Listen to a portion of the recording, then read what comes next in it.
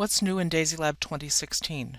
DASYLab 2016 has added a new module, made changes to existing modules, increased the maximum block size, and made internal changes to improve precision throughout the program. Windows 10 is now supported, and Windows XP and Vista are no longer supported.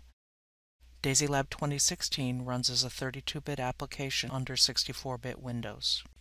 The new State Machine module is in the control group and is available with DASYLab Full and Pro. We've included an example with DASYLab 2016. It's a simple car wash where user input starts the state machine and moves the virtual car through the tunnel. The new State Machine module implements sequences of operations in a much simpler way than was done in previous DASYLab versions. Users can use the state machine module to define a series of steps and define the step change parameters between each step. Each step can define outputs or changes to variables and can use counters and can use clocks to determine the series or how the series of steps are going to run. You can easily reorder the steps in the state machine or insert delete, or append steps in any position in the state machine. Finally, the worksheet will run much faster and use less memory because only the actual step of the sequence is performed in this module, unlike when multiple parallel running modules are used. DASYLab 2016 changed the maximum block size from 32,768 samples to 1,048,576 samples. Most drivers have been updated to support the larger block sizes, including the measurement computing and data translation drivers. The time-based settings for this module are 500,000 samples per second. The default block size is 50,000 or one-tenth of the sample rate. When I change the auto block size and select a block size of 500,000, when I save that and run a measurement using a frequency analysis module, the FFT, and a statistics module, both of these modules were updated to be able to handle the larger block sizes. As a result of that, I'm able to get very high resolution on frequency. DASYLab 2016 has made some updates in the Options Global Settings menu. It's reorganized this to make it a little bit easier to read, and it's added two new functions, including a creator function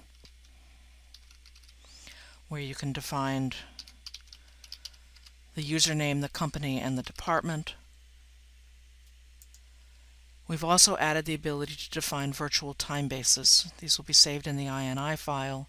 You can define the default sampling. It defaults to driver. You can change it, for example, to your data acquisition device. And the default interface is the DASYLab. You can then change the preset data source for modules that use the time base, such as the switch to the slider, and I can say that I want to change it to my virtual sampling time base.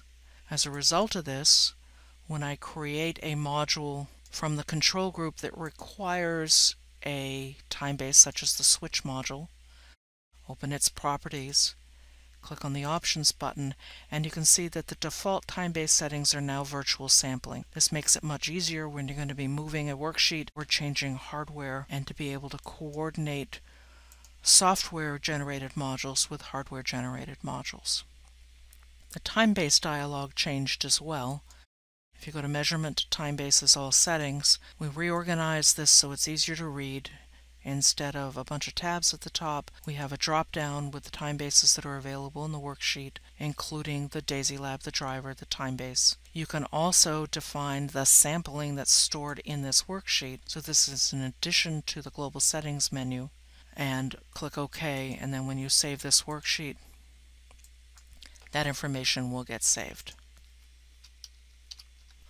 A large internal change to the program was to increase the underlying data precision. We've changed the internal data representation from single precision to double precision floating point. In order to support that in the data files, we've updated the DASYLab data format so that you can specify that you want to store the data as either single precision or double precision. We've also updated the TDM and TDMS data formats so that again you can support being able to store the data as either double precision or single precision. The switch module has been updated to allow you to define output values for both the on and the off state, and to be able to change the start value of the module to be either off or on. You can change the output values using the action module, or you can configure these as global variables. This makes this module much more flexible, including the ability to simply turn it off by setting both on and off to be zero.